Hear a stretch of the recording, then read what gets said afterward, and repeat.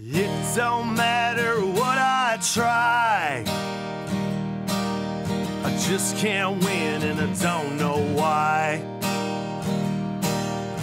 There's a fork in every road. I pick the wrong one and then I go. American loser, yes I am. Disenfranchised from everything. Well, I fall up and I fall down. An American loser the day I was born. Hello and welcome back to another episode of American Loser. This is uh, the second episode in our uh, Halloween series. We are live as always from where, Dad? Where? Where where else would we be on a Sunday morning but Eatontown, New Jersey? Exactly, the At Shared Shared Universe studio. Universe. Mike and Ming taking great care of us as always. The big kahuna behind the ones and twos. Who else? Hey, what's up, guys? He was looking rough this morning, was he not? I, hey, don't be mean. But uh, very special guest here, uh, joining us again. So uh, a recurring guest on the show, my good buddy Anthony Cianci, has actually brought his father, who the two of them were guests for the Barbary Pirates episode. So I'm very excited to have uh, the Cianci boys, not not solving mysteries today, but uh, the Cianci boys in studio. Uh, Mr. Bill Cianci and uh, my my good friend, one of my oldest buddies from high school, Anthony Cianci, joins the show again. Welcome back, fellas. Thank you. Good morning. Thank you for having us. Can we admit how funny it was that because me and my father got here uh, early, and uh, the door was open, thankfully, and uh, there was almost a Benny Hill type moment. If you look at the security footage, looking at the door to the bathroom to the studio, that we all just kind of at no time were all four of us in the same hallway. That's right. And we were all constantly rotating in and out of the bathroom. And then, hilariously enough, Kahuna walks in, the elevator door, the bing hits the little ring, right? And Kahuna, it, we're all to the right of him, immediately to the right. And Kahuna doesn't even look, just hooks a left and goes, What's up? And just walks right into the Directly into the. Into the So, right now, go. Do not collect two hundred dollars. yeah, that bathroom thing. is currently writing its congressman. So it is what it is. Um, so what we're doing is we're doing a couple extra episodes here this month. I want to uh, get into the spirit of Halloween finally, if we can. Uh, very excited here. We got some cool shit we're going to cover today. So this is the second episode uh, in what's going to be, uh, I think, four total Cahoons. We got a couple extra ones, uh, some bonus content here for our regular listeners. content. Wow. And uh, this is going to be, um, unfortunately, this will be uh, Larry's last episode just for a couple of episodes here because you're going, you're abandoning Yeah, the it's just a family. Is that short- correct? Absolutely. Yeah, We're Yeah. taking it on the road. You've had enough. So That's it. you and We're my out. beautiful mother He's going going, on off his to tour. Yeah, Pennsylvania, right? Yeah, all the way to the far reaches of uh, Pennsylvania. All right, cool. But you're taking the RV out one last time, you know, for the That's it. summer. here, That'll so be it for the for the 2019 season. The fall, as it were. And Yeah, uh, there you go. And Mr. C, I know you're you're no longer hanging out down the Jersey Shore. I so, am not. So it is what it is. Buttoned up. Yes, it is. done for on that one, man. Now I'm excited to bring you on for the show because we had um, one night over at Anthony's house where let's say uh, we were having a couple of adult beverages, um, and uh, we started talking about this one particular topic. Okay, now when you start having drinks at uh, Anthony's house, Kahuna, there's a rule. Okay. Um, you're not allowed to call out of work at his house. You have to wait until the next morning. That's right, right. Yeah. No calling it quits. And you have to drink enough to ensure that that happens. I like this rule. it's problematic here, but we're very excited to talk about this week's loser. We're going to dive right in on him here because we got a ton of good. It's actually his life's baffling. It makes no sense. Is that fair to say, Mr. C? Yes. Okay. Yes. Now, uh, we've covered some admirable losers on the show, some downright awful human beings, some terrible ideas, and uh, plenty more to come. We are not running out of content for this show. No. I've noticed with One that, thing- like, there's always losers. There will always be losers, and there will never not be losers. In order to birth a winner, one must also birth a loser. So that's uh, you know, which is that, that's what my parents said. That's why they got two kids. I feel like that's the tagline for Joe Dirt. That's um, well. Uh, however, we have uh, never, and The Rock means never, talked about someone that everybody loves, quite like today's loser. This guy's beloved. Okay, um, and how old were you when you found out about this guy? How old was I? Uh, We haven't said his name yet, so we're going to save the name for the reveal. But Okay. h- how old were you when you found out about the young. the- Everybody, I think, is young when they find out about him. yeah, and it's always around this time of year we talk about him because Halloween holds a very special significance for this guy. Um, he gets associated with America, but uh, he was born in Budapest, Hungary, uh, March 24th, 1874. And his name was uh, Eric Weiss. It's not a good stage name, is it? No. No, no, no. No. Eric uh, Weiss. Later, Harry Weiss, Uh, then uh, no. finally becoming one of the most famous men in the entire world after assuming the stage name. You want to guess it, Kahuna? Harry Houdini? Hell yeah, What baby. the fuck? What is, is- happening? It is a beautiful thing when you see that look come over Kahuna's face. Right, right, He's magic. That's what I tell you. right. It's like I might have this one. oh, well, yeah, yeah. Keep going. don't you ruin this for me, okay? I don't get many good guesses. No, that was solid, brother. So, uh, without further ado, this week's American loser is going to be uh, Mr. Eric Weiss. Okay, Weiss is born to a uh, Jewish family in Budapest, and um, you know there, there's a rumor that um, I'm sure you guys have heard this that uh, Jewish people run show business. Yeah, there, So- there is an influence. Yes, yes. So they're very good at that. Uh, and Houdini is um, he's a big, big part of it, as we're going to show. He creates his own kind of empire in the entertainment business. But uh, the family emigrates from uh, Budapest, which is Hungary. But when he's born there, it's Austria, Hungary. So there's this whole weird thing of who does Houdini belong to? I think he belongs to the world Yeah. when you really think about it. He's that cool of a guy, man. So, but uh, the family emigrates to the U.S. when uh, Eric, that's what they're calling him, Eric. Uh, I can't do a Jewish accent. Can somebody do one?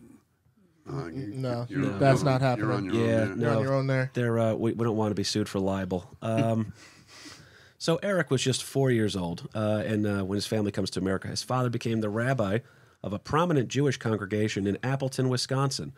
Mr. C, are there any famous burgers out in Appleton, Wisconsin we should know about? Solly's. So, Solly's Butterburgers. for, for those who don't Original. know, Mr. C is a, uh, a burger connoisseur. Uh, Bill Cianci's burger reviews still online. Check them out. Yes, sir. right? Now uh, it's weird because we're going to cover. Uh, we get into seances here later, and there is nothing. There's no tongue twister quite like Cianci seances, Cianci seances. So God.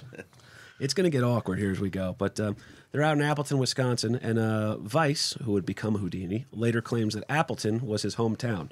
So in Appleton, Wisconsin, where he was born, is still known as Houdini Square.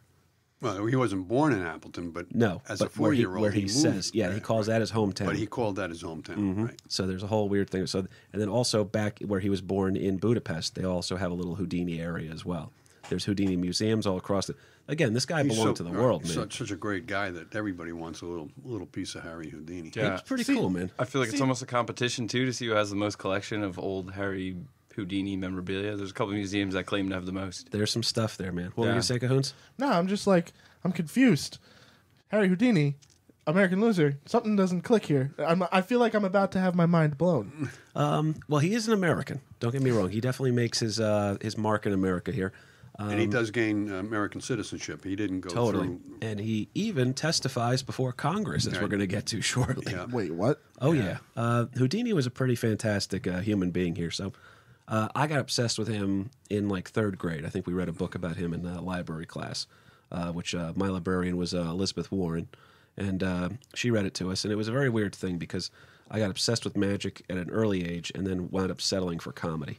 So I don't know which is more esteemed, but as we're moving on here, uh, Weiss claims uh, Appleton is his hometown, like we said, but unfortunately, they don't they don't last very long over there. Rabbi Weiss uh, is unable to find work after moving the family to Milwaukee. Um, the key when you're a Jewish rabbi looking for, um, you know, Your next gig. yeah, is to have uh, Jewish people in the town you're moving to. All right, that So, helps. Yeah, it definitely helps. But um, unfortunately, the family's in dire straits now, and um, you know, young Houdini, still known as uh, Eric back then, or they start calling him Airy, okay, which sounds a little bit like Airy. Right. What does that kind of sound like? It could be anglicized into Aunt You gonna make me say it? Henry. so, you know, it's like it's like all you Italian guys. You're all named Tony. You know what I mean? That's kind of how it works. So, but uh, yeah, at, uh, at just um, this is interesting here to me because uh, now uh, his father, Rabbi Weiss, takes Ari with him to New York City. They're going to go live in Manhattan. They wind up living in a boarding house on East 79th Street. The idea is that Rabbi Weiss is going to go ahead and get a day job and secure an, a living that he can then send for the rest of the family. But he brings young Ari with him. Now, while he's in Manhattan, uh, young Ari gets bit by a radioactive spider, giving him the superpowers to fight his nemesis, Dr. Octagon. We're just looking to see. Kahuna, Kahuna See goes, if, see if Cahoon is still listening. something's not right here. Paying attention. So, Yeah.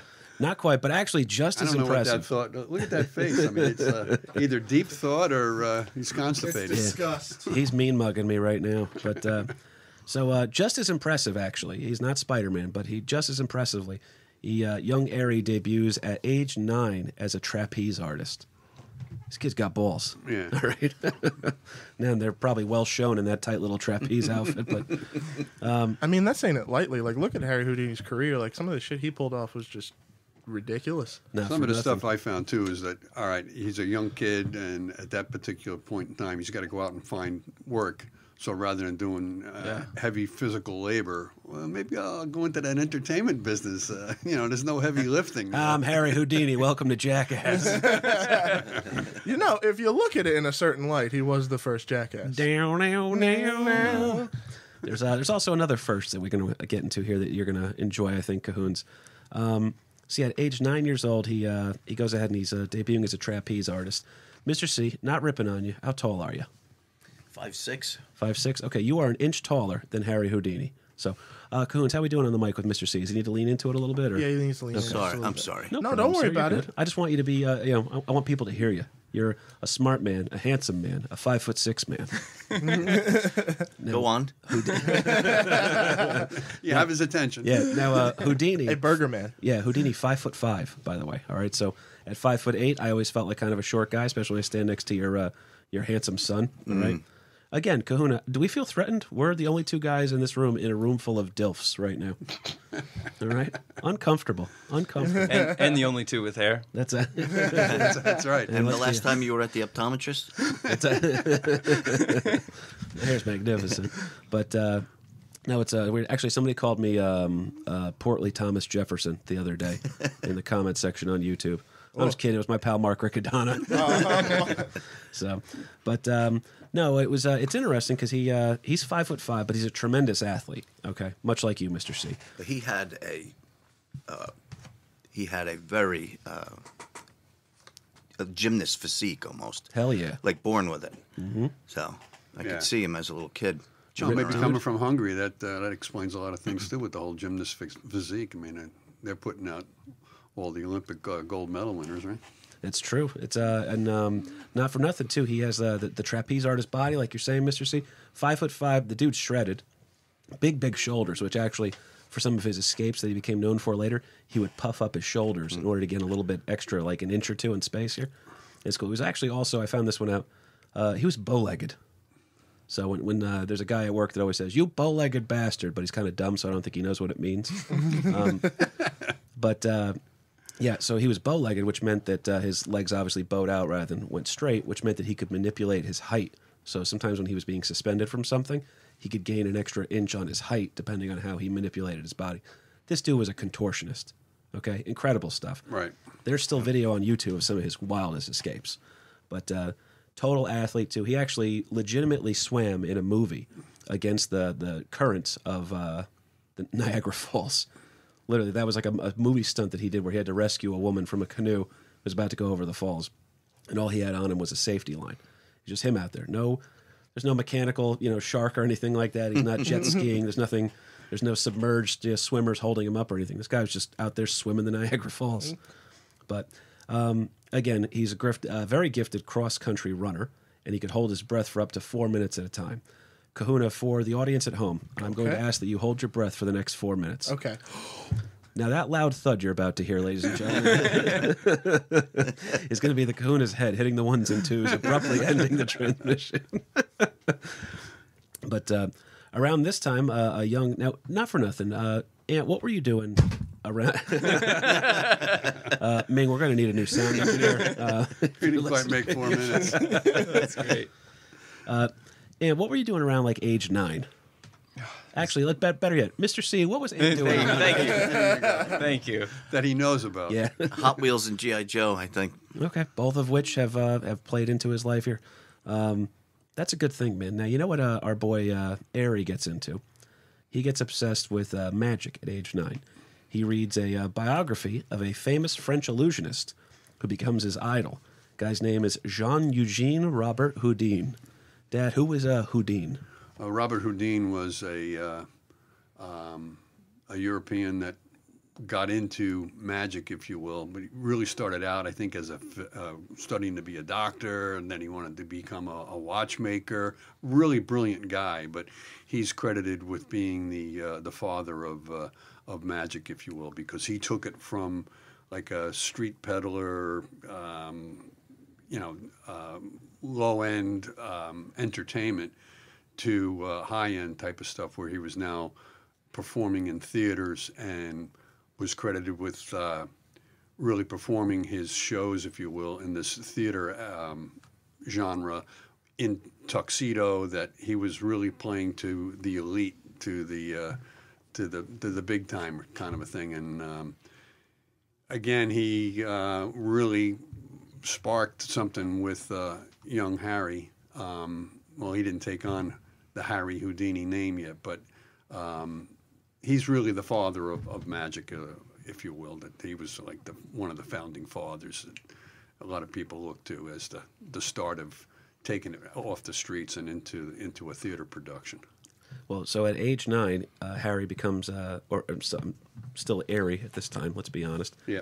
He becomes obsessed with this guy, uh, Houdin, if you will. So, uh, did you have an idol at age nine, Mr. C? Somebody you looked up to? I did. I, I was into Houdini. Really? Yeah. This is perfect then. I think I was around nine or ten, and I talked my mother into taking me to Mecca Magic in uh, South Harrison Street in East Orange, No shit. which was a premier. I mean, all the, the professional magicians went there from New York. yeah, and if you went down the street to Orange, they could make your wallet disappear as well as your tires. no, no. no, it was a different world in late '60s. It was still still safe, but it was a. Uh, I was totally enthralled with the place. That's Got my awesome. first book on Houdini around ten years old. It was interesting. He's a cool guy. Yeah. Well, that's why I'm happy to have you. So when we miss something that you guys want us to make sure we hit, because we did some research, but we're not subject matter experts like you, sir. So jump in on anything here, all right? Sure. Now, that being said, and at age nine, uh, we didn't know each other yet. We met in high school. At age nine, Houdini is obsessed with magic. At age nine, I am obsessed with Ghostbusters, um, G.I. Joe, and uh, Elle Macpherson. All right, that started young. Mom had the Sports Illustrated workout tapes, Right. Right. and mom would You work out. I remember mom used to brag to her friends. She'd they'd be like, "Oh, uh, Sandy, when do you find time to work out with two kids in the house or whatever?" She goes, "Oh, I just I do the Elle Macpherson Sports Illustrated workout tape, and Kevin just sits there and just watches the TV." That's right. And my my obsession with blonde Australians has never gone away. So we have some listeners in Australia now. So if you are a blonde woman from Australia, please direct message me. This is important. I'm offering citizenship. So, so, but That's great. Anyway, um, he gets obsessed with this stuff. He actually winds up studying um, magic under this guy named uh, Joseph Rinn, who becomes super important to him. But around this time, Airy goes ahead and turns to Henry, partly due to the similar sound in his name, and also because uh, another magician that uh, Harry looked up to was this guy Harry Kellar, who was uh, another very well-known magician. Now he mistakenly, our boy Harry, thought that adding an I to the end of a word meant like in French. So if uh, if you wanted to be um, if you want uh, Cianci like, we would just be like Cianci would be the Yeah, thing for the you read French. another. Yeah. Cianci. Yeah, a lot, lot of vowels, a lot of Right. vowels. But um, so he goes and he adds an I, thinking it means Houdini like. It does not. Okay, so Houdin like. yeah, Houdin like, I should Right. say. So he became Houdini. Right. So, which is hilarious because um, as we get to his brother, then becomes the Great Hardeen. So it's Right. how many spins on this fucking name can you have? Yeah. I think it was interesting too that um, the guy that he idolized, this Robert, was actually Robert Houdin, and um, Robert Houdin is a hyphenated last name. But when he when Houdin got married, he actually took the hyphenated name of his wife's last name. So he married a Houdin, and then hyphenated his own. So in other words, instead of the modern day times where the woman might hyphenate her name with her with her husband, this guy just did the reverse. He hyphenated his wife's last name. So he was R- Robert, and then hyphenated Robert Houdin. Uh, the French, very progressive. Very progressive, even way back when. Now, if you marry a Houdin and she's the mayor of Whoville, then you have to, you're contractually obligated to carry on the lineage. Absolutely. I thought this was interesting too. So he uh, he takes the the Houdin name and the uh, Henry name, okay, And uh, it's pretty interesting here. As a teenager, he's studying magic under this guy who's the paranormal skeptic, Joseph Rinn. Joseph Rinn is a very important figure to Harry. They, be, they stay lifelong friends, okay? And he's known as the mentor. Um, the skeptic part plays a huge, huge part, which is what we're going to talk about today mostly. Uh, in there's a lot of people at the time they're trying to portray themselves as maybe uh, a part of the occult. We've talked about it on other episodes before. The spiritualist movement, Dad, that uh, people are really big on. this. Because anytime there's a massive war, there's this unresolved grief because people die, and you have unresolved issues. You want to say goodbye. So the idea that you could contact a loved one from beyond the grave, very appealing. Right. All right. And you can get these people with these sensibilities that are willing to pay top dollar for a sense of closure. And Houdini hated this shit. He was not a fan of it. And I feel like it got it drilled into him by Rinn that magic is supposed to be about illusion, not deception. Okay, which is a fine line to a degree. But there's that idea that also comes back to, like you said, with Houdin of are we street peddlers just pulling cards out of our ears, or are we showmen?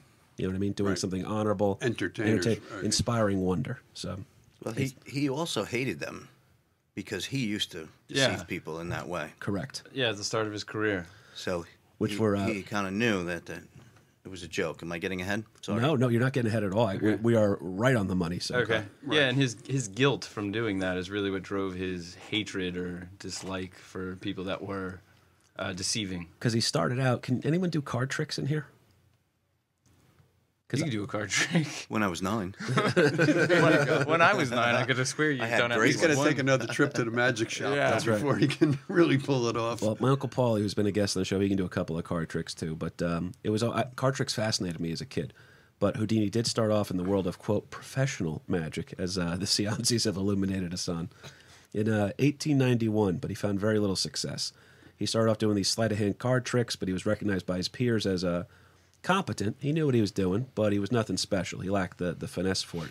Now, th- there's another part with the deception you were talking about, Mr. C. Is there anything more on that we need to hit? Um, as far as uh, his uh, uh, he, feeling guilty afterwards of Absolutely, deceiving yeah, yeah. people. Yeah, no, no, I, I don't He- remember I anything else. His own self-image. Then he was didn't want to be known as a charlatan, and he's, he's Right. That he's Well, I mean, he got to a point where he was making enough money where he could look back at himself again. Right. I, I mean, he didn't have to beg, borrow, and steal and cheat and lie anymore. So he said, "Wait, what am I doing? Why did I do that?" You know. But it wasn't until he got successful right. that he was able to look at himself and make that judgment call. He does not have a pot to piss in at this time. Well, Yeah. yeah. I mean, and you know, when you're on the balls of your ass, you're you're gonna do what you got to do to to make the money, and that's why he deceived people. It's very true. Sometimes you're not making money in your chosen career, so you start a podcast with your dad. Um, so, but uh, yeah, they. Uh, Give that You a speak like you're making money.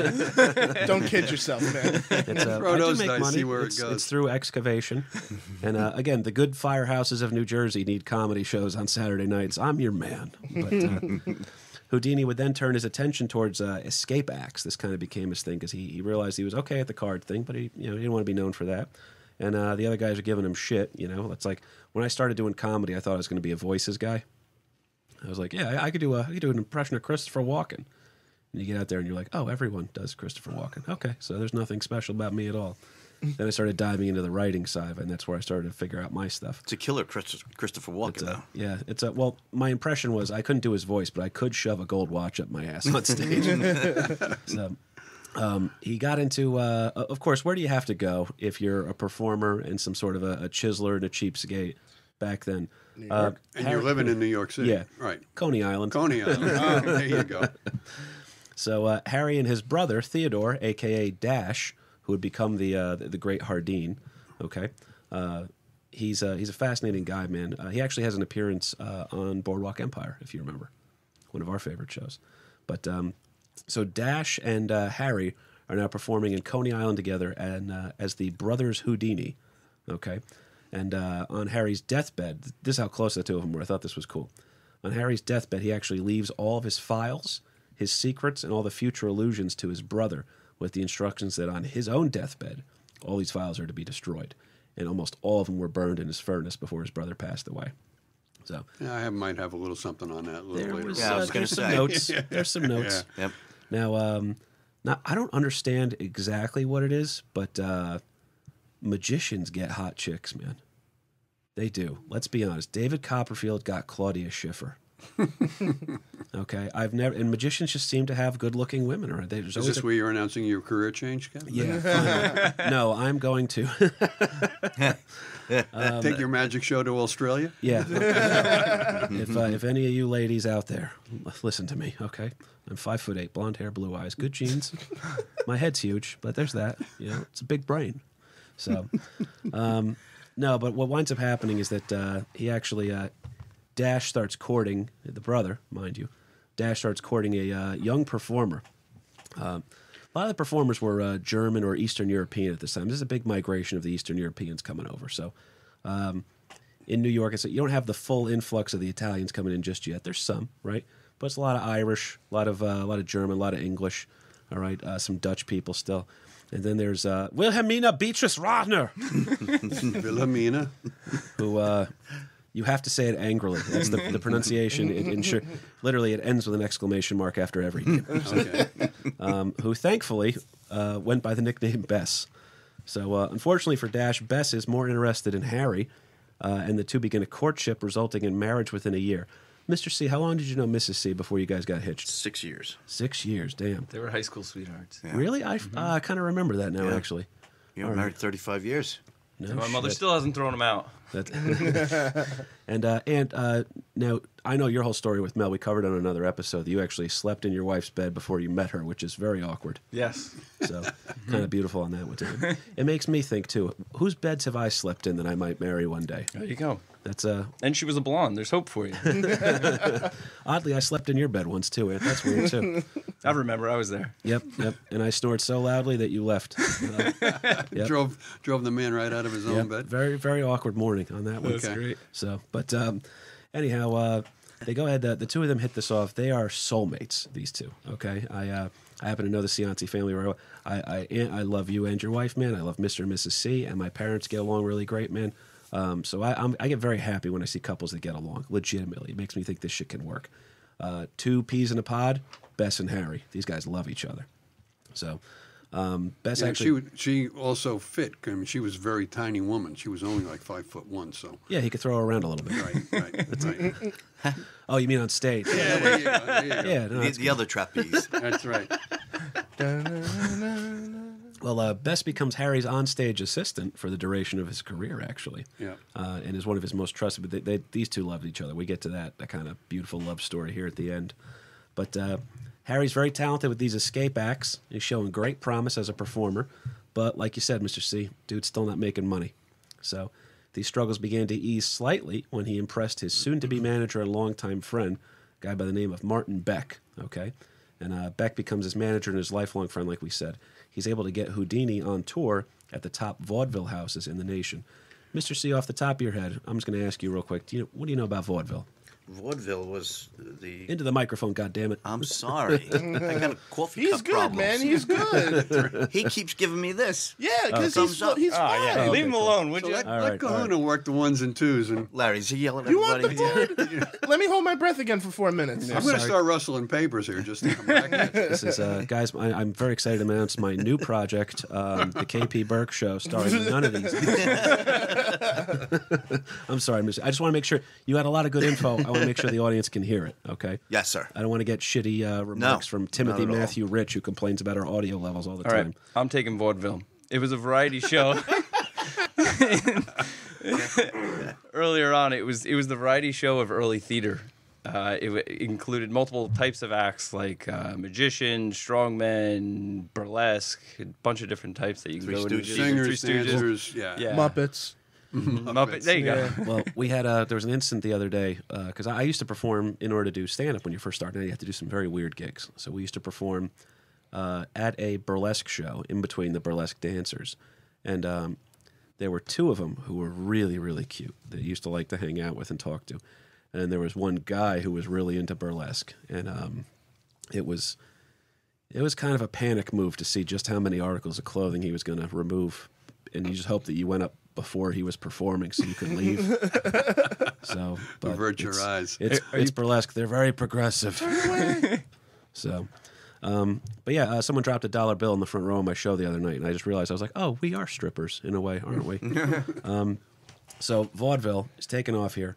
Um, I mean, that was the form of entertainment. entertainment, exactly. Um, There's there tours. was there's no TV, there's no movie theaters, uh, so that's it. I mean, if you want to, you have to go to a live show in order to be entertained. Now vaudeville was very common around this time. Like was it so like was it kind of like accessible entertainment like where like oh me, let's go to the movies kind of deal like was it like Yeah, actually, the Like- movies is what ruined vaudeville. No, well, that I figured, but I mean yeah. like like it like it wasn't like too expensive for like an average Yeah, like a Joe Friday to go night. out. Yeah, yeah, that's Okay. exactly what you would do. You'd go Yeah, to the it, theater. it brought entertainment to the masses, kind of a thing that the, Yeah. the common guy, the, the working man, could still afford to go out to a, a vaudeville uh, variety show. Yep. and they were traveling like carny type people. Right. So you'd go You'd all over make the, the, place. circuit. You'd make the Small circuit. hands.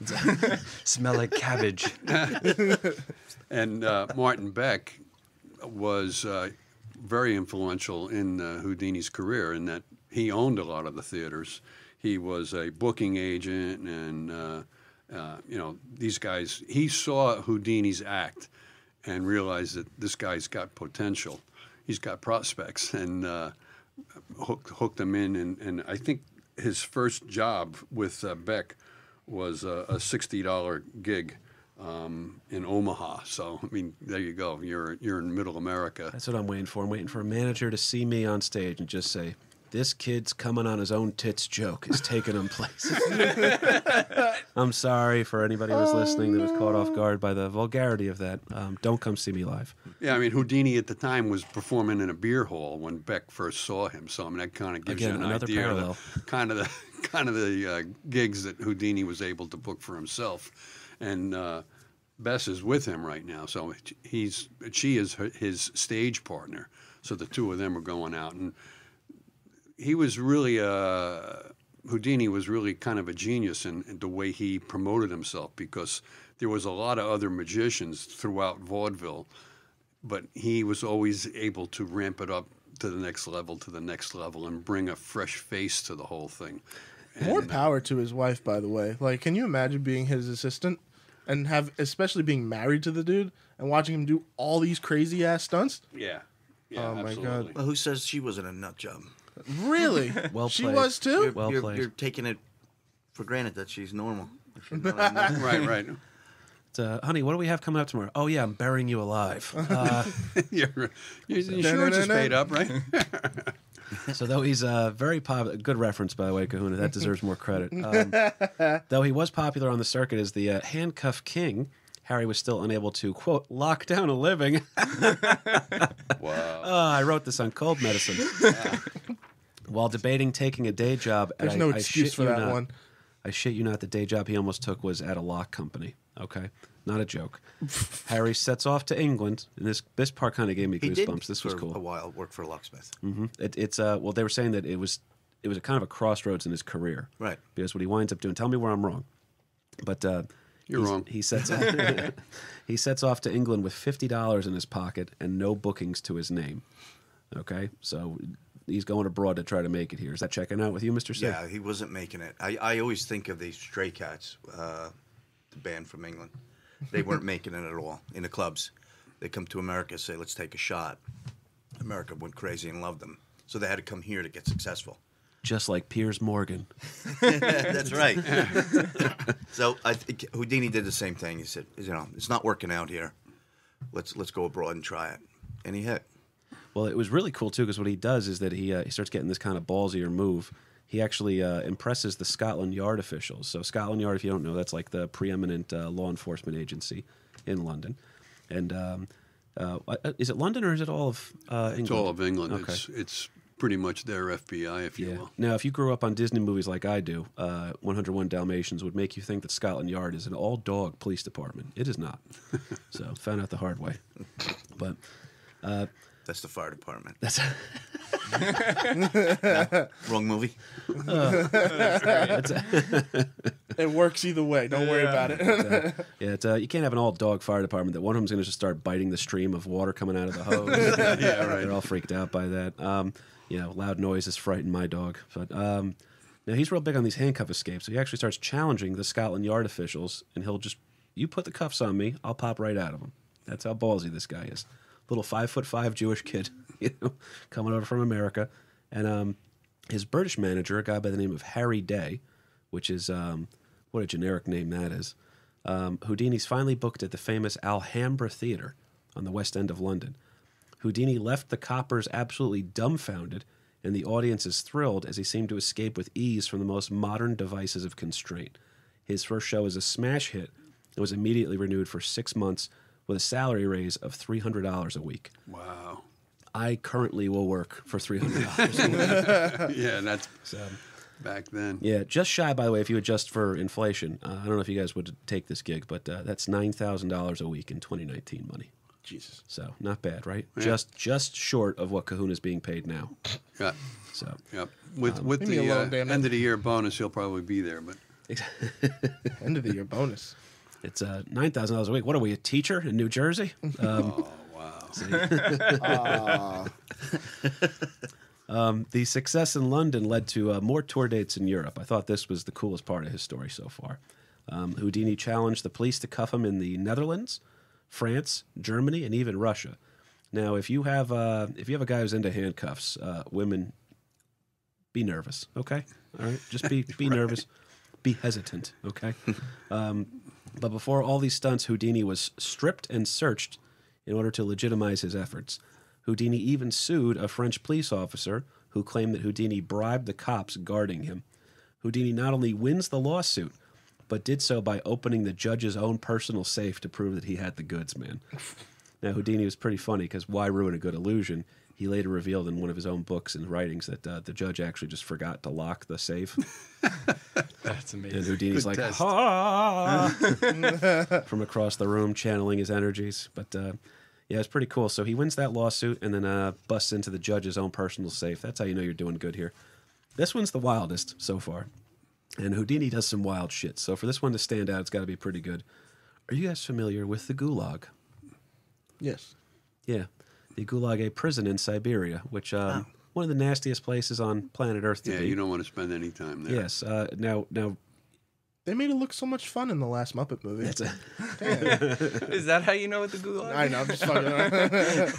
it, it would be hilarious if there was actually a gulag uh, in the Muppet movie because it's just I just picture Fonzie Karma. so what about the gulag? so uh, yeah, the gulag is out in Siberia. Okay, and um, it's a tough place to be. Siberia is uh, so nasty that that's where Russians send people when they're bad. So and Russia, not exactly the nicest place on earth either. Although we have listeners in Russia, so praise Putin. Um, that being said, uh, Houdini escapes from a Siberian prison transit van. The van left from Moscow, and had Houdini not been able to free himself, he would have been forced to travel to Siberia, where the only key that could open his locks was kept. All right, that's how wild this shit is. If you want to know how bad that drive is, by the way, Ant, because uh, you're a pretty fast driver. If we got in your, uh, you got some cool cars over the years we've driven in, and um, I attempted to see how long it would take us because you once told me that you could drive from Daytona Beach to Wayne, New Jersey in I think it was ten hours. No, not 10. Probably 11. Ten and a half. Ten and a half. I 11 wanted to figure out what the what the actual time it would take to drive that would be, and then the Anthony Cianci time. And uh, it is such a harsh drive. Google Maps will not allow you to determine how far that drive is. So That's funny. It's that undesirable. I'm Glad you're telling me now. Yeah. I, d- I did get pulled over in Georgia with the cruise control set to 95. Oh, that's brilliant. And he said, You know how fast you were going? Yes, the cruise control was working. Don't worry. Looks like those Cianci boys are in a heap of hot water now. That's right. It's So, off Houdini. to the uh, gulag for you. here's uh, here's the crazy part. So he's starting to get uh, more and more famous. Okay, and uh, Houdini's making some good money right now. Uh, he's starting to think everything's on the up and up. So while in France, Houdini arranges for an interview with the widow of his hero, Jean Eugene Robert Houdin. Okay, Putin. Houdin, uh, well, uh, Houdin, Houdin. Uh, they're French, man. I vote Houdin. It's a I voted. Well, he had hoped to gain permission to visit the grave of his hero, and he wrote that uh, he was not well received by the widow and was not granted permission to visit the grave. So he does so anyhow, but later writes an article in his own magazine disparaging the widow, and then later on becomes uh, hell bent on ruining the reputation of his former idol. So at age nine, Mr. Bill Cianci becomes obsessed with Houdini. Now imagine you get into magic after that, and then you spend the after you finally start to hit and you got some success, you then turn all of your attention to smearing Houdini's name. Ron bastard. Yeah, he, he was a bitter guy. He was actually, by the way, all of the descriptions of him, they say he's the most affable, kind-hearted man. And because when you look at old pictures of him, he's got some spooky ass eyes, I think he had a giant ego too. big, big ego. Well, I mean, why wouldn't he? If he's, you have to believe in yourself a little he was bit if you're he going to do was some kind of of this shit. kind of the Elvis of the and the Beatles of the time. Oh, okay, good point. He was that big. I mean, uh, you, you could see pictures Oh, of he him was yeah international. doing huge. doing an escape in New York City or something, hanging upside down, and he literally cannot walk in the street. There's just thousands and thousands of people come out. Well, when your name becomes, because my favorite, my hero as a kid was MacGyver. So the, the when your name becomes a pronoun, verb, and adjective that can be used interchangeably, and everyone understands what you mean.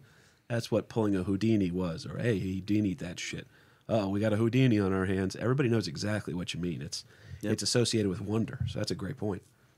Um, now, unfortunately, uh, he takes his, uh, you know, does not get well received in France like he wants to with the widow, but he does take his newfound wealth and returns to America, a hero to his family. So this poor Jewish family that was, you know, pretty much had to leave Milwaukee to live in a tenement square of sorts. Um, he comes back home, purchases a brownstone in a neighborhood known as Harlem. Now, I don't know if you guys know much about New York real estate, but to purchase a brownstone in Manhattan for twenty-five thousand dollars that's pretty good, Cones. All right, that's called a win. and uh, while in Europe, Houdini had also purchased a dress that was said to have been made for Queen Victoria. And we talked about how close he was with his mother. He adored his mother. Uh, he arranged for a large formal gathering of friends and family and presented his mother in the dress made for the Queen to all in attendance. Houdini has written saying that this was the happiest day of his life. Mom, I made it. All right, that's kind of a cool moment. So if I ever make it, I'll do something nice for mom too. We're still waiting, Kev, but Like pay, pay back some of the money I owe you guys. that'll be a start. Move out. Start. I had a house once. uh, now, uh, after this, Houdini was essentially a made man. Okay, like you said, Mr. C, stunts are attracting huge following. His name's becoming uh, synonymous with like these crazy escapes and spectacles. Houdini was uh, very clear, like we said, though, to never attach his name to any sort of abilities gifted him from the beyond. So, like we said, Houdini very skeptical of this stuff.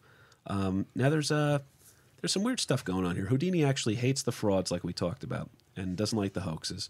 And while he was serving as the president of the Society of American Magi- uh, a Society of American Magicians, also known as SAM. So, Sam's Club, Kahini. Or, wow, I'm screwing up. all- Kahini? Kahini? Kahini. I'm Kahini. okay That's with his new this. stage I'm not name. mad now. like I'm not mad. Yeah, Kahini. It's, Pass uh, the Martine. That's like, That's a kahuna like by adding the I on the end. that's great. LP with Touche. that's a Oh, showstopper right there. That was great. So he has uh, he has this group called the Society of American Magicians, and from 1917 until his death in 1926, which, by the way, in this time frame, Houdini also performs for the troops during the Great War. Okay, kind of a cool thing. But uh, under his leadership, this group grows in size and credibility on a national level. Like you guys said, let's separate ourselves from this nonsense here. We're not the street peddlers. We don't want to be deceiving people. He gets angry about this stuff. Now, I'm going to throw to you here in a second, uh, Mr. C, because uh, you had a little bit of research for us on, I believe, a, a group of gentlemen, uh, two gentlemen, uh, that Small group. Houdini was not a fan of. Uh, No. That he helped uh, expose um, maybe some, some fraudulent ways. A little bit. Uh, guys by the name of the Dunlap brothers. What were they all about? Davenport. Davenport. There it is. Dunlap Yeah. brothers. Man, I'm all over the place. no, today. you're buying tires, I think, rather. Yeah. you know what it is? Uh, it's just the Yankees lost last night, and I'm not happy. I haven't slept much. I'm starting to confuse Harry Houdini with our next episode, H.H. Holmes. So unless Houdini starts murdering women in the second half of the story, Hmm. I think I need to separate these. so talk to us about the Davenport brothers, Ah, please, yes. good sir. William and Ira. They were around in the uh, middle and later uh, 19th century.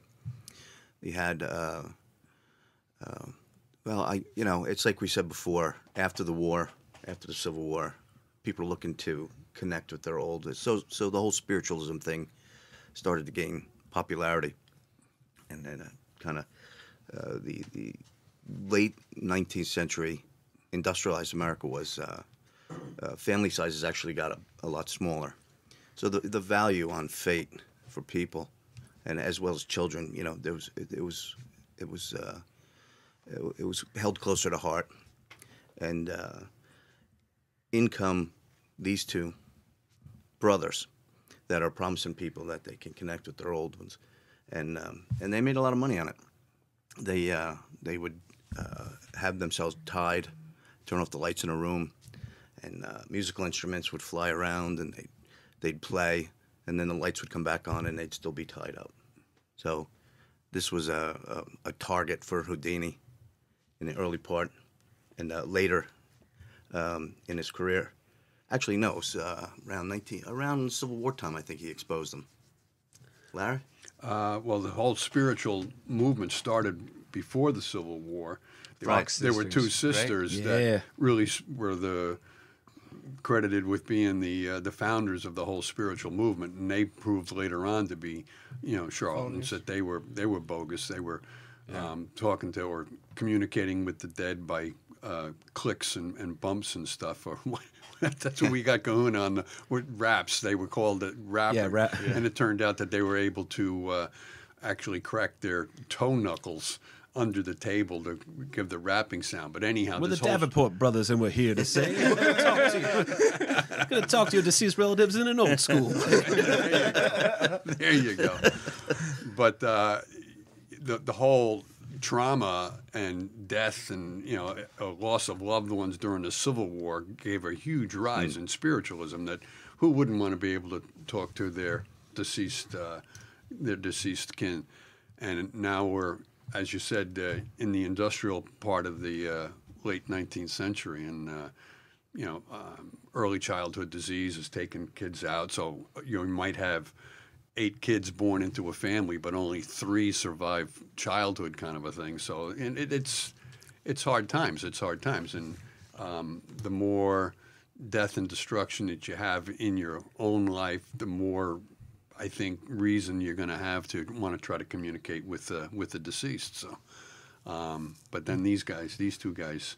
Come along and uh, you know, It's a cool making trick, by the way, to have the music Well- playing while they're still Yeah. kind of tied up. That that one would trip me out a little bit. They started out, I think, with their hearts in the right place. Their their father was a New York City cop, and he was heavy into the occult, and uh, the whole family kind of started uh, doing sessions. I think they called them, and uh, and the boys uh, uh, eventually went public with it, right. and uh, so it went. But they originally they did they were believers, but I guess they found they could actually make money. They can make more people believe by Yeah. having something bogus. Shysters. And then we, we talked about it in previous episodes with Mary Todd Lincoln and all the uh, all the death that uh, was with her. That you know she was one of the credited to be the one of the first to have a séance going on within the White House, kind of a thing. So it, it's a it's a huge uptick in in popularity, if you will. And now you got these people like these brothers uh, performing. Uh, they're making money on this deal. That they're they're taking it more um, as a money making scheme than they are to bring uh, relief or, or solace to uh, to the to the living. You know, that are It, it's a weird on. thing that because the other side of this coin is that um, yes, you are extorting these people in a way because you're you're giving them fraudulent information. You're not actually contacting their deceased relatives, but what those people are buying is peace of mind. It's very it's a complicated thing. I have a friend who works at a comedy club that will occasionally have these mediums come by during like a Sunday afternoon. They'll do a show, and it's almost always somebody who lost somebody tragically, and this is a kind of a way for them to feel a little bit more at ease with it. So it, it's really it's a dicey road, but I totally understand and respect Houdini. By the way, a modern continuation of Houdini calling out the frauds like this is done by Penn and Teller, one of the, the two of the probably Yeah. the most interesting magic group of all time. Right. One thing I thought was cool here too. Uh, was there anything else on uh, on those those evil brothers from Buffalo? You know, that's what I'm, I thought I did have something. Well, I'll tell you, if you come up with it, uh, just just tap me on the shoulder here. In the meantime, I want to talk about another person that uh, Houdini exposed. Um, who's the first Ghostbuster, Kahuna? The first Ghostbuster? Yes. You're gonna go with Venkman, Egon, Bill Ray? Murray. Who are you going with? I would say I would say Ray. I would say Ray is Putting a lot of thought into this. I respect that. The first, the first Ghostbuster is Harry Houdini. What are you talking about? That's what his his reputation as a Ghostbuster now is that he's sitting there and he's shitting on these people who are fraudulent mediums. Okay. So get this: one of the most famous ones that he uh, discredits is this woman named uh, Mina Crandon. Okay, now this chick's wild. Um, she claimed that she was uh, able to channel her dead brother. Okay, and uh, she was actually convinced. The people were convinced. There's a, a Scientific American is a magazine that my father pointed out is still around today. I didn't realize there were magazines outside of Maxim. So um, this is all new information for me. Welcome But- to the world. Man. Yeah, but apparently this magazine. All his other porn has Yeah. gone to the internet. So Well, this uh, magazine of sorts uh, was offering a cash prize to anybody who could actually prove paranormal ability. They were very excited by this. So this woman, Mina Crandon, is a very promising candidate for this.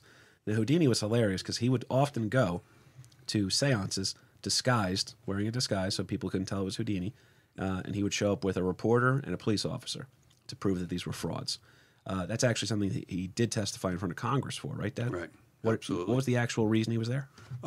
Congress was uh, called him in for um, testimony, if you will, on all these different various bogus seances, and uh, they were attempting to write a bill to protect people against these uh, charlatans. And Harry was called in for um, you know professional testimony in support of this bill to protect the people. People So- are getting ripped off. I mean, it, Yeah, it's it's nasty. You want some sort of integrity to, in this to business. attend this séance, only to be, uh, you know, it's all smoke and mirrors. So now uh, in comes Mina Crandon, who's about to collect a uh, pretty sizable cash prize from Scientific American. But on the board of people that have to approve and and kind of you know make her genuine uh, is one Harry Houdini. So Houdini's investigating her, and within minutes of seeing her little act, by the way, because here's what she would do if we're- we're around a uh, poker table because Ming doesn't have a. Ming has a, a, an official podcast table made by Ernie O'Donnell from Clerks in the other room, and then in this this room that we use all the time is a poker table from Price Club. So, um, if we were to all lower the lights in here, guys, and light a candle in the center of the room, and we all held hands right now, we'd be holding. Kahuna's out. Yeah. we'd be holding a seance. Now, let's say Kahuna was Mina Crandon in this instance. Oh, okay. And, uh, and we're all holding hands, right? And Kahuna goes, I'm going to contact uh, one of your dead relatives. Uh, give me a name. And if, uh, you know, let's say we're going to contact the name um, uh, Evangelista, okay? Just because I don't think anyone here has an Evangelista in their family. And um, an. Evangelista, if you are here, uh, please let your presence be known. And then what Kahuna would do is he would reach his foot out. There'd be a bell in the center of the table, right? And we'd all see the bell. And then Kahuna would reach his leg out underneath the table and then tap a second bell underneath the table. And we'd be like, holy shit, Kahuna's talking to Aunt Evangelista right now. this is wild. So Houdini sees this and goes, uh, "Oh, cool! That's very cool, Mina. Can you do that? Uh, I want you to wear this device that's going to immobilize your legs. Just do it again, okay? Just do it again. That's really cool." And now she can't reproduce the results. So they then agree to another test where she's going to be put in a box, okay? So they put her in this weird box kind of a thing, and she's got like a like like cabinet doors around her face or whatever. And then uh, the idea is that she's going to be able to summon these uh, beings, if you will, and talk to them through the you know being a psychic medium. Uh, and what she does now is uh, she's able to produce the results again. And Houdini's like, "Ah, all right, so maybe I was wrong here. Maybe it's not just this. What's the deal? And everybody who's trying to credit this Mina Crandon woman are like, see, Houdini, you got it wrong. Houdini opens up the little cabinet doors on her face, if you will, which, let's just be honest, that's a hilarious thing to open up cabinet doors in someone's face, is there? Hey, And, uh, Baba Looey, all right? all right. Get back in the box. Well, uh, they open up these cabinet doors, and uh, Chick's got a collapsible ruler in there with her. That what she's doing is opening the thing up with her neck and then tapping the bell with the ruler. Oh my god. Yeah, so she's a fraud. And guess what she does? This is when you know you're a true fraud. You accuse your accuser of being a fraud. She goes, No, Houdini planted that there. He's nervous about my power. So, lifelong feud for that. Crandon went on. She was mostly discredited. They said she had absolutely no genuine ability, but uh, she continued to perform for people who were literally marks. That's what it wound up being. Yeah, through through this time too, Houdini is um, fighting off lawsuits in the millions of dollars, where all these, you know, he's telling these people that you're a fraud, you're a fraud, and they're filing suit against him and everything else. But he's he's never really found uh, uh, at fault. That uh, he's proven correct in, in all of these uh, various cases that uh, he was accusing the uh, the phonies. Well, one of the biggest losses we're going to get to in a second here because you have a awesome jersey tie-in for this episode, LP. I'm very Do excited. I? You Okay. do. Um, We'll see what happens. It's a good one. It's a good one. But real quick, I don't want us to because I, I was so fascinated by the debunking of the psychics because that's not something I ever got into with Houdini. So we are going to talk about his death, which is definitely what qualifies him as a loser. Um, and that, that I don't mean a loser is uh, in esteem. I mean circumstance. Um, but I do want to cover a couple of his really cool, um, his biggest escapes. Mr. C, off the top of your head, what's your favorite big Houdini escape? Well, the first thing that comes to mind is always the torture cell. Hell yeah. Hanging the upside down. Chinese water torture, Yeah. or as it would be called now, the Eastern Hemisphere water torture center. right. so, Yeah, and the handcuffs, of course. I, uh, you know, because you, when I was a kid, I think the first book I had was Houdini on magic, and and um, uh, one of the chapters spoke of how not only did he uh, uh, work out all his muscles, but he, he worked out his, his stomach and his throat as well, and he could regurgitate lockpicks that he swallowed. so this this was again when I was a kid and reading this, it's it's amazing. Yeah, I mean, going back to when he was in, in England, I think that's the way he was able to escape from Scotland Yard. Yeah. That they did the full body search on him, and I mean, he full Well, he was search. he was naked for most of those Right. escapes. That- where where is he hiding the key? Well, he Yeah. was able to. you know, Cavity search. No, thank you. yeah, Yeah, and the other thing was uh, uh, we spoke about his um, physique before, but he would also I don't know if he did curls or what, but he would puff up his forearms before they put the cuffs on him, just to give him a little more wiggle room. genius. yeah. Genius. Body Yeah. manipulation, man. That is, Yeah, I it's mean, it- interesting. it's nuts. He's got a couple really cool ones here. Um, now, just to prove that he was legit, uh, you guys are all handy guys in here, all right? Uh, Ant has helped me fix my car before. Mr. C, I've seen some of your contraptions. Some very talented too, with a lot of the railroad stuff and everything. Yeah, Um, and then LP, uh, I mean, your your your shop of horror, if you will. It, it's it's impressive some of the shit I've seen you come up with, man. Um, but uh, guys like you would be issued a challenge by Houdini. He would say, "Make a contraption that I can, you know, that you think I can't break out of," and he would almost always break out of it. It was pretty fantastic. Um, this one's one of my favorite. It's known as the mirror stunt, but ignore the word mirror. The mirror is just the Yes. newspaper that. This um, was my covered- favorite, even though you asked my father and not me. You want to? Oh, uh, tell us about No, it. If, a- you, if you know it, tell us. about it. I know a little bit about it. So the mirror cuffs is the uh, it's the first time that really they thought they stumped Houdini, right? It was in London. Correct. They put him on it- it- stage. Ignore the word mirror. The mirror is just the paper Yeah. that's reporting Well, on te- the incident. Yeah, it does, but it also kind of gives a little homage to the cuffs because they were perfectly kind of symmetrical in as they looked. Uh, but yeah, it was Mirrored? the they were. I give it to you. yeah yeah. So uh, it was it took five years to create these things from a blacksmith. Mm-hmm. Is what I read, and It was uh, from Birmingham for all you peaky blinders fans out there. and uh, Pinky, or you're leaving leaving out the. Uh, Pikey. what do you have against vowels today? It's Birmingham. They don't have veils. Um, yeah, so it took him five years to make it. So they gave it to him. He went up on stage, and it took him hours, five hours, six, a, a bunch of time, and uh, they put him behind like a black curtain to, uh, to so he would escape. And he came out from the curtain uh, once or twice. The first time he came out, he asked to take him off or something, and they, and they refused to take him off because like then you're gonna know to how take they work. He wanted to take his jacket off. His jacket off. Yeah, and they said no. Then you'll see how the contraption works. Because if you just look at these cuffs closed, you would have no idea how how they would operate. They looked much different than standard uh, handcuffs. And at first, if I remember too, he before he even did the mirror cuff, he said no, no, no. I claimed that I could only get out of police cuffs. I never said anything about it. And then he finally took on the challenge, uh, and he struggled with it. So then they said no, you can't take your jacket off. So you have to go back behind the black curtain. Uh, and then he came back out again, in which Bess met him, and that's where I think a lot of the controversy lays. Is people think to this day that she might have slipped him a key, because shortly after she saw him, I think like an hour, under an hour later, he was able to get out of them. Yeah. uh, and it's a huge. Yeah. Popped a, a lock. Uh, uh, uh, yeah, now I can't talk.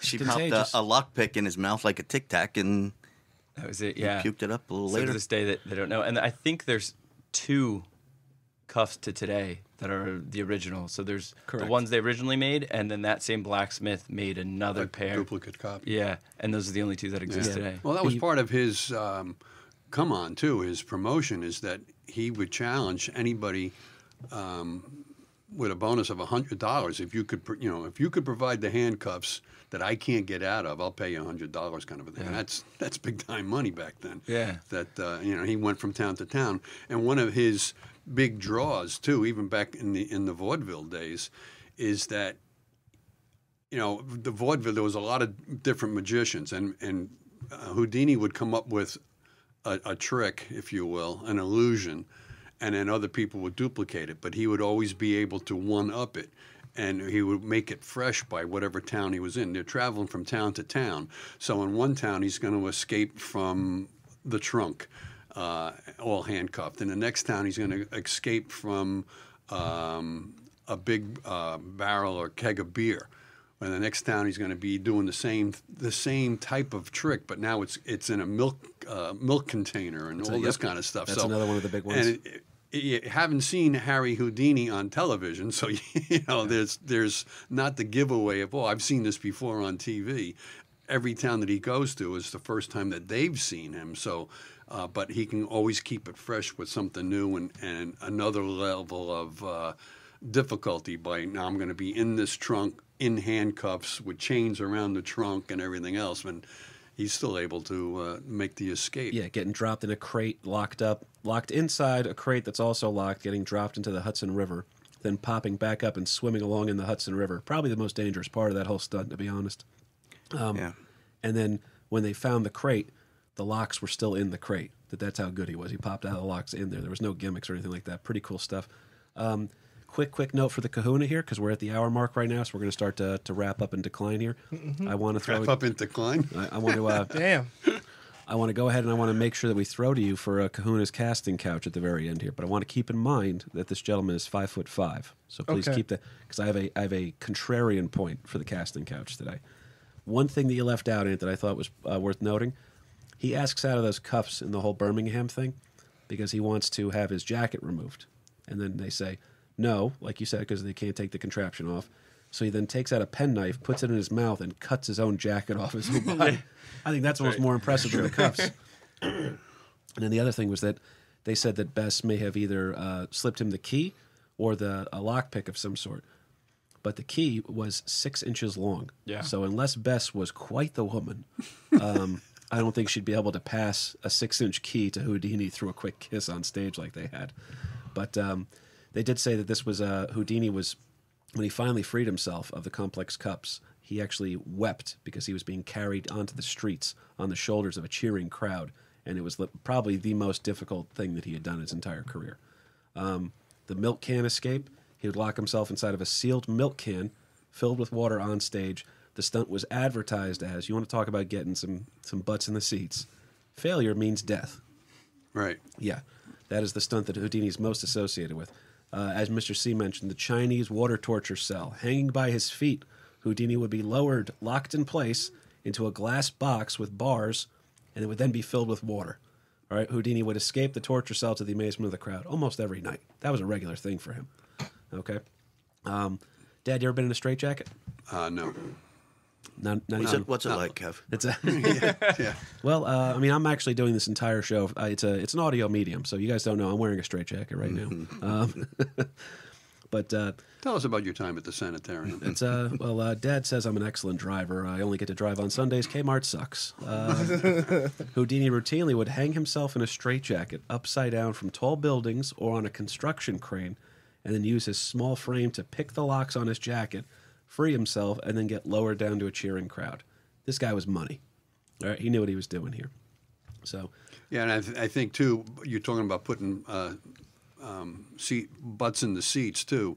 He would go and the local, he would challenge the locals, and there would always be some commercial or some industrial kind of a thing that, all right, but we're going to provide the beer that you're going to be lowered into, or the milk or the whatever, the container. Great promotion for the business. Right, so, It so, was. so, So you- uh, you got a you got a built-in all right. You got a Yeah. built-in promoter right there. That's um, also getting getting some advertising out of the thing and making sure that they're going to fill the theater. great advertisement for everyone except the locksmith. Um, Yeah. now the the wildest stunt that he did was his buried alive stunt. You know anything about this, Mister C?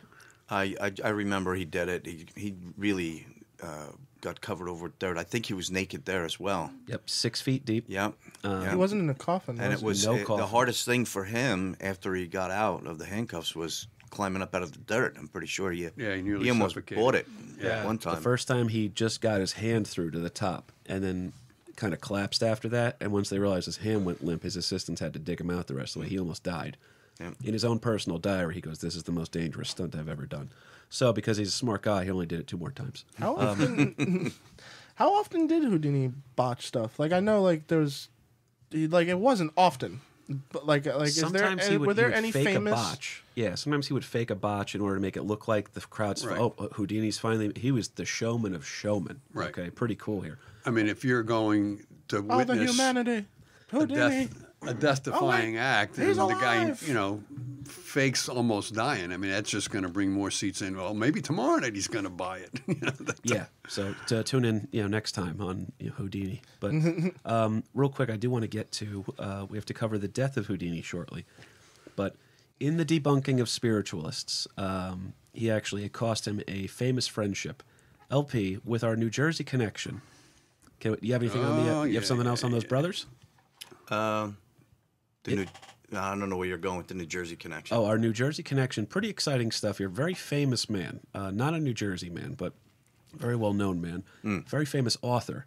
Uh, comes. We're on. We're on the same page now. All right. I've been waiting. Oh, I'm excited. I was going to blurt it out. Thank God I didn't.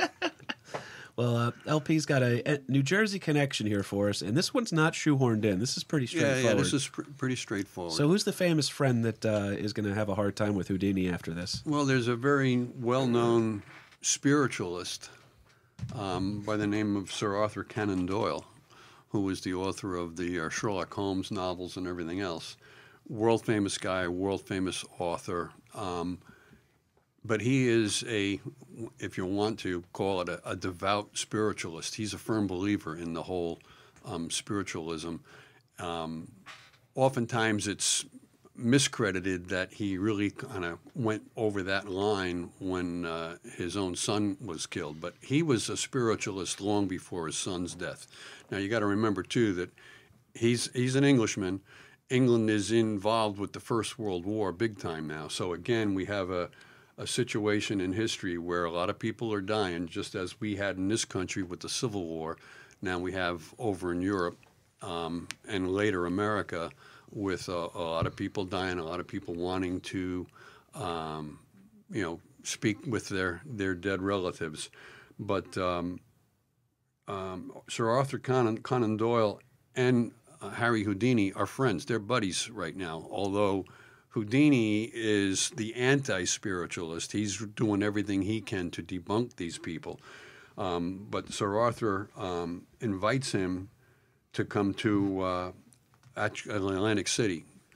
Sir Arthur Conan Doyle is on a world tour right now, and he's in America.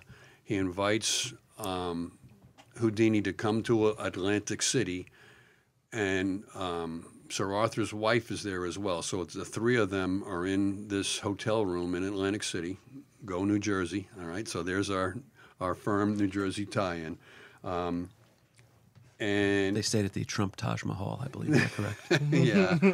Um, Houdini really wants to believe in this. I mean, he. I think part of his search for this, uh, or his his driving force of debunking these people, that he really wanted to believe in in this whole being able to speak with the dead. But uh, well, he missed his mother very much. yeah, his his mother is gone, and he's really uh, a mama's boy, if you will. That he really wants to speak with his with his uh, his late mom. Room full of mama's boys in here, by the way. So I mean, Houdini later writes, "I was willing to believe, and even wanted to believe, um, and with beating heart, I waited, hoping that I might feel once more the presence of my beloved mother." The um, the Doyles go into this séance, and it's really led by Mrs. Doyle. All right, so she's the medium, if you will, and she's trying to um, call up um, Houdini's mom, and she slips into a trance. Her eyes are fluttering, and there's a pile of papers on the table in front of her, and all of a sudden. Um, uh, there's like 15 sheets of paper that that starts with "Thank God, thank God." At last I'm through. The scrolled message began in perfect English. So Mrs. Doyle, in this trance-like state, is now writing on these papers as if she's communicating with um, the dead Mrs. Uh, Mama Mama Houdini. Uh, there you go. There, cue the cue the spooky music, and it went on for 15 more pages before she comes out of this spell. The spell is broken, and at the conclusion of this, uh, Houdini doesn't really say anything, but he just takes the top sheet. Now you got 15 pages of what was written, um, and it's again it begins with "Thank God, thank God, at last I'm through." Um, is the way this whole message starts. Houdini gathers up all the papers and writes a like a handwritten note on the top page. It doesn't say anything to the Doyles, and just kind of leaves. And it wasn't until like six months later that Houdini now goes public with what he had written. Well, now that the Doyles think they're like, finally, we got Houdini on Right. our side. the right? Doyles now think, wow, he, you know, he didn't say anything. He must be like totally a firm believer in this whole spiritualist because now, you know, she was just able to conjure up the dead mother and, And then wrote, six months wrote later- for 15 Showman. pages. And now, um, six months later, uh, Harry finally makes uh, public what he had written that afternoon at the uh, Ambassador Hotel in Atlantic City. And he's, he says, uh, My sainted mother could not write English and spoke broken English. So, you know, this whole thing is, is debunked because if she was going to um, write anything, it was probably going to be in Yiddish, um, you know, her own native her own native language, and certainly not English, and not perfect English as it was written on that paper. So, with that, uh, there was a complete separation. So ended the friendship between Sir Arthur Conan Doyle and, and Harry Houdini. Yep. So that, It's, that it was the end. Of ear- a little earlier than that too. I think they started having the falling out because Doyle was a, a big supporter of Mina Crandon. Very much so. Oh, okay. Yes. All right. An Yeah. outspoken advocate. Yes. Yeah, So this was kind of a let's mend fences, right, guys? And then they're like, oh, or sever ties forever. Yeah, and, and Doyle was not only a believer in the whole spiritualist thing, but he was like a leader of a whole spiritualist Yeah. group over in England, kind of a thing. So he, was, a, he yeah, was a and he big believed in the, the fairies. I think I remember that. There was a, a famous Yes. photo, right? Yeah, there was a. Uh, I remember right. It was a trick photography God. that created these tiny images of these uh, fairies, where The it looked like people. they, you know, uh, and, and fairies, you know, um, different different connotations depending on what Is you're this where we talking bring in the Irish oppression? Uh, Yeah. Bathroom break. about. Yeah, that was uh, no my uh, my ex girlfriend from Ireland told me all about the fairy people over there, which we think fairies are nice. In Ireland, fairies very very mean. Okay, uh, they're like Not a nice way to Island talk about the gays. We almost made it through a whole episode without. there you They're go. very Without litigious, insulting. Anthony. They're very litigious. Um, that being said, we have to. Uh, th- there's this one part of Houdini where they did say there was a hope and a promise that he had made to his wife that if he did die before her, that he would attempt to make every effort to contact her from beyond the grave. All right. Now, unfortunately, Houdini's going to die. Okay. Uh, people listening at home might be wondering where's the loser part of this story. Well, this is one of the most famous men on earth, and uh, it's not really a great way to die. Um, it's kind of a, it's actually a terrible story to be quite honest. Um, this guy's pretty wild. Uh, the loser angle of the episode comes in that at age 52, um, two college students visit Houdini one day. Houdini had broken his ankle a few days earlier and was resting in kind of a, a couch type, you know, uh, it's just a couch, right? A sofa, if you will. So he's sitting there in the sofa trying to rest his broken ankle, and these two college students come in. Uh, they're Canadian college students, right? And uh, again, students is a loose parlance, right? We're going to say, Dad?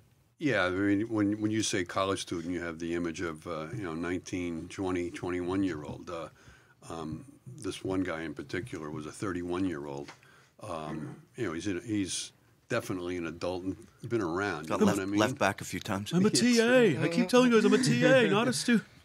Yeah. Um, But uh, yes, these two uh, students come in there and they ask Houdini uh, if he believes in the Bible. Uh, no, actually, there was I think three of these college students. There, it got weird because they, they mention the names and then they, they don't introduce the third guy, but then they use his name later in the story. It was weird. The article I wrote wasn't good. Yeah. Um, well, the one guy in particular was Jay Gordon Whitehead, and they gain entry to backstage to see Harry under false pretenses that they're returning a book or there was a stolen book. There was something involving a book that they were able to gain uh, entry to backstage to see Harry, and Harry would often make the claim that you know he could withstand anybody punching him into the stomach. Now again, this guy is totally ripped from from head to toe, and he would often take on that challenge. That yeah, go ahead, punch me in the stomach. You know, give me give it your best shot.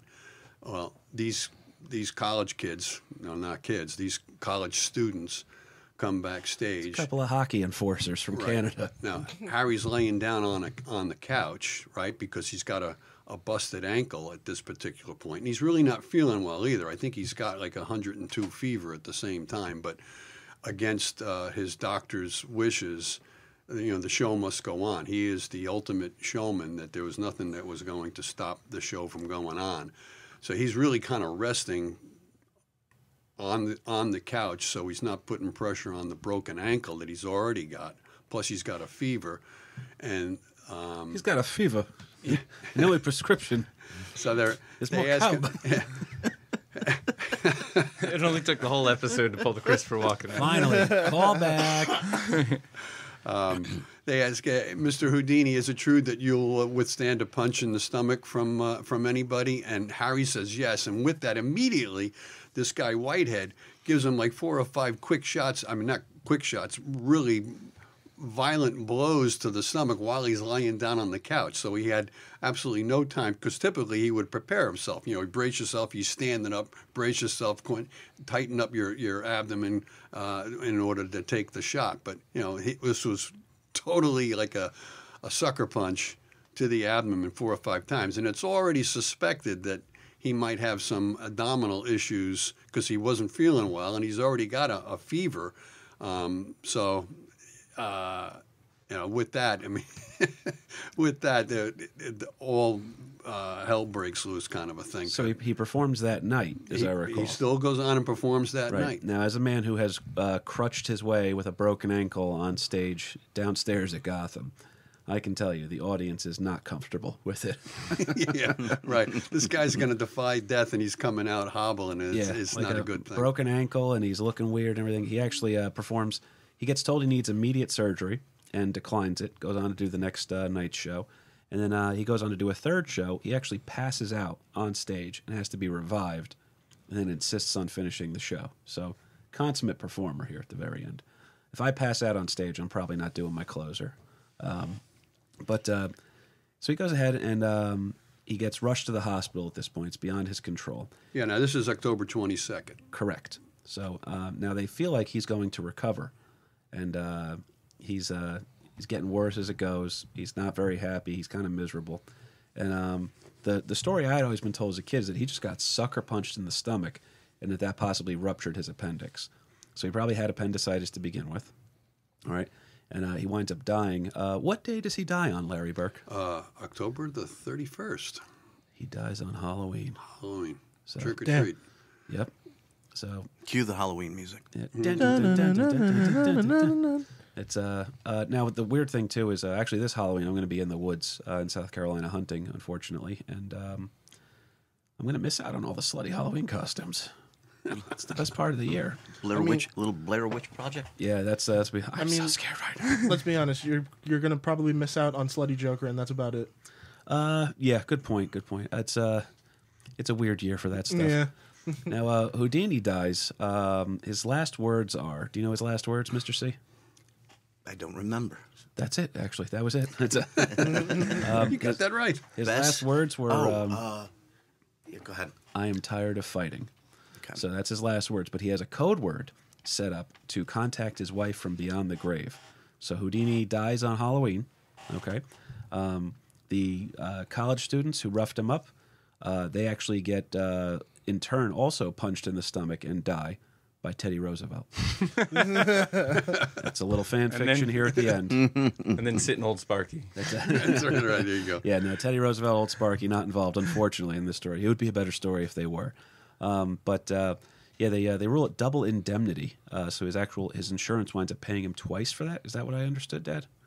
Um, yeah, that, that initially when uh, Mrs. Houdini Bess tries to collect on the insurance, it's denied. Now, double indemnity means that well, you have life insurance. If you die, you're going to get paid. If you die in an with an accident, um, like traffic accident or whatever, um, you're going to be paid twice. So that would definitely set her up for life with the insurance policy that she had. And Houdini, again, one of the most popular performers in the entire world at this point. So Initially, initially, she's denied the whole double indemnity uh, clause.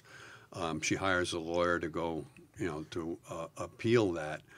Um, the lawyer then um, gathers up testimony, affidavits from the three, you know, quote unquote college students that um, delivered the, the punch to the stomach and was then later proved to be uh, righteous in that she does receive the double indemnity uh, on Harry's death. But they had a whole uh, pact, if you will, that if either one of them died first, um, they would try to contact one another from the dead. So again, So this I is want to like ask a- everybody what their code word was going to be, by the way, too. So, Mr. C, if you had to contact Mrs. C from beyond the grave and you wanted her to know that it was legitimately you, outside of farting, what would what would you do to smell let her that know? smell. Oh, that's Say him. bodily functions. the whole group. I don't know. All right, I'm going to throw around to everybody. So Rosebud? start the Rosebud. Rosebud. a you Citizen go. Kane reference, too smart for our audience, sir. and what would you do to let Mel know that it's you? If I'm being honest, and I feel like I have to be, boobs. Boobs. It's Not poop. Not poop. it is him. it's him. Larry Burke to contact mom from beyond the grave. What are you going to say? And I guess I'm going to have to come up with something in in Armenian or something. I don't know, but that's a that's a tough one. You I'd have wouldn't to- sing "You Are So Beautiful," your wedding song. Why am I better at this? Because you're you, Kev. How, what can I say? Uh, Kahuna, you have to contact someone from beyond the grave. You've passed Uh, away. Some sort of Muppet Muppet reference. I think they'll just know. Yeah, that's Christian. It's definitely Kahuna. Carmen. so, uh, for What's yours? For me, I don't have one. There's no one I'm going to contact from beyond the grave, guys. When I'd I like go, to know you're all right. When I go, I'm out. You made it to hell safely. It's warm No. down here. Knock from the roof if you're up there. Knock from the floor if you're down there. also true. That's uh but uh in wrapping up here, uh Bess holds a séance uh every year for 10 years following Houdini's death. Okay, in an attempt to contact him. The code word that he has is Rosabelle Believe. Rosabelle was a favorite song of theirs, if I remember right. Stop, correct me when I'm wrong, Mr. C. You're here no. for you're here You're for on the, the money. integrity of the show. um, so Rosabelle Believe is going to be the code word that he's going to say to her to let her know that it's actually him. And for 10 years, they hold a seance for him. There's a, a lit candle in the center of the table. Some very famous mediums get brought in to try to come in. People that, you know, obviously Harry hadn't debunked. So kind of be hilarious that they brought Mina Credit. Oh, yeah, he's here and he says he's cheating on you at Hal. um, but LP, what do you got on that? No, I just that you're right. I mean, for every for the f- first ten years after Harry's death, on uh, every Halloween they would hold a, a séance, and then finally, on the uh, the tenth anniversary of his death, they had this candle lit during this séance, trying to conjure up, you know, Harry and uh, have him uh, speak from the dead, if you will, and uh, nothing happened, and. She just got up and snuffed out the candle and said, "That's it. No man's worth."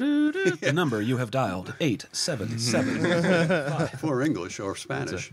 yeah. Or like Netflix, we always make this joke every episode. Are you still summoning the dead? So, There's, there's all kinds of Houdini followers and clubs that still Yeah, do it. To this day, they have seances trying to Absolutely, Every absolutely. I was I was trying to find it. Um, um, out in LA, they do it. They're real big on that. The, connect. There's the- a shocker. Yeah. yeah, really. Yeah, there's uh, there's esteemed uh, Houdini followers. A lot of his uh, merchandise, not merchandise, but we'll say his, uh, we'll call them artifacts. That's what they really are. Uh, wound up in the possession of David Copperfield. Okay, other couple famous magicians. Um, the Houdini Files LP. I know we want to wrap up on that real quick because after ten years, um, she realized that her husband was not going to come back and contact her, so she gave up on that. Now there was one time when she said that uh, she actually said that she did contact him, but revealed that it was a fake, which kind of just ruins the legacy of the whole thing. So I don't want to end on that sour note here. But what do you have on the lost Houdini files, LP, to bring us home? Um, I don't know what files you're really speaking of, but I did the ones that were burned in the furnace. Yeah, supposedly that upon Harry's death, all of his illusions or how to master his illusions and tricks or escape cabinets or whatever you might want to call it, whether it be given to his brother, because his brother was also a you know pretty famous magician in his own right or illusionist in his own right, but Arguably never really. ballsier because he would do it. Uh, Houdini would perform behind a curtain some of the escapes, and then uh, Hardeen had discovered that the audience would go crazier if they could watch the Watch, struggle. watch it, right? Watch So him now he to get removes the curtain, and he's just doing it right out there in the middle of it. So almost a more talented, uh, possibly a more talented magician. yeah, different talents in different ways. But um, Hardeen takes a lot of his stuff, continues to use it, and then upon Hardeen's death, it was supposed to be destroyed, and it wasn't.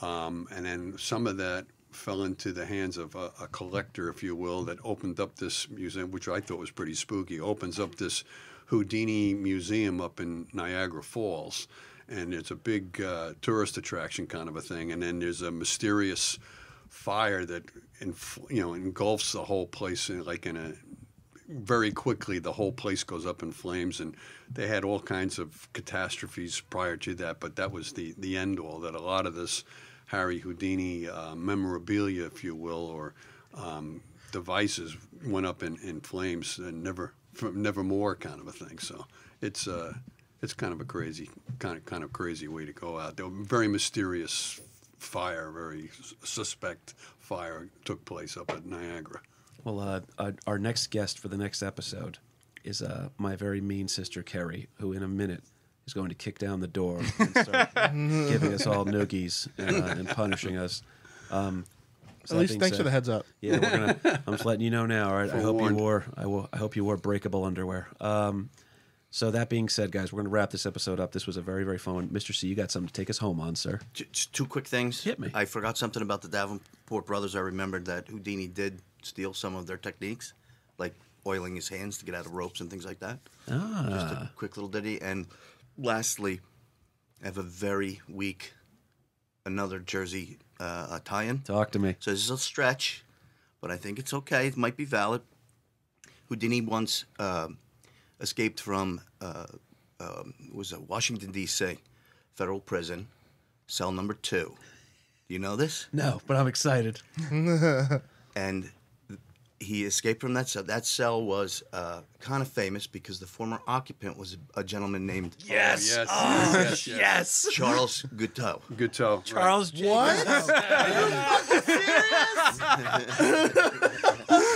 There it is. And who was Charles Guiteau? Oh my Charles, the assassin of President James A. Gruff. Thank you so much. We completely I- forgot about I, that. I completely. I read that and I was like, "Holy crap!" And we just got the reaction out of the guy. Oh my god! Perfect. Let it be known Perfect. that KP literally stood up and cheered at my reaction. Because we totally Oh forgot my it. Mr. God. C, you kept us honest on this one. So. Yeah. That's great. Kev, I want to thank you for coming to my podcast. I found out something kind of cool. awesome. Actually, the um, the Ambassador Hotel where uh, that In meeting Atlantic between yeah, Yeah. it's technically still standing. It's the Tropicana. No Is that shit. right? I've, Yeah, I've wow. stayed in there. the then. the Tropicana the it was the Ambassador first, and the, it closed in the seventies, from what I read, and then uh, Tropicana bought it, and they used the framework of the original building to build upon that. Wow. So Also- technically, it still stands. That's that's interesting. Now, also weird side note: inside the Tropicana is a, uh nightclub, an '80s themed nightclub, in which I tore my left ACL at a bachelor there party. There you go. and the name of that nightclub? But Boogie Nights. Boogie Night. There So go. I got to thank down, the dude. Cianci boys for coming in. Mr. C coming in strong with the facts. Anthony, you're handsome. Um, So I'm used to it. Bill Cianci's burger reviews online. Please check those out. Yes, yes. Larry Burke, have a great time over in uh, Pennsylvania with my mother. Um, Kahuna, thank you for everything you do here. Always. Guys, if you like the show, please consider leaving us a review on iTunes. That's all we're asking right now. We're giving you as much content as we can for free right now. We got some pretty cool shit coming up down the line here. the show's taking off. I got to say thank you to a bunch of the people, the regulars, uh, Stu, Nick. Uh, you guys all know uh, uh, Jay Perro. I don't. I I, I want to thank these people that we only know them by username sometimes. Uh, Miss uh, Rachel Veronica out in Texas helps us out a ton with the show, sharing it. I put the posts up every Tuesday on my Facebook account. It's KP Burke on there. Check me out there. It's where you're going to get the most out of me. Twitter and Instagram, uh, KP Burke sucks. And uh, also, there's the American Loser Podcast Instagram page where we are posting everything. If you subscribe to the show, you get these episodes early. That's how it works. All right, consider leaving us a review on iTunes. It really helps us out. A written review means more to us. That way we can keep track of it. We want to reward the people that are on the ground floor here with us. I'm sorry that the Yankees lost. Okay, if you're not a Yankees fan, then I guess you're not feeling you know the loss that we're all feeling today. I hope the Giants can do something, Dad. I need a win right now. all right, Danny Dimes. but I think it's time. Let's go. I think it's time. But that being said, uh, Kerry is uh, lighting matches and throwing them in the hallway. so Is that, gonna, is that gasoline? we're gonna go ahead and let her in here shortly. That's what But, that um, smell was. But guys, uh, thank you so much for listening to the show. Please uh, continue to enjoy our special Halloween uh, uh, abundance of episodes here. And uh, my name is KP Burke, and that was Harry Houdini, American Loser. An American loser the day I was born. An American loser the day I was born. An American loser the day I was born.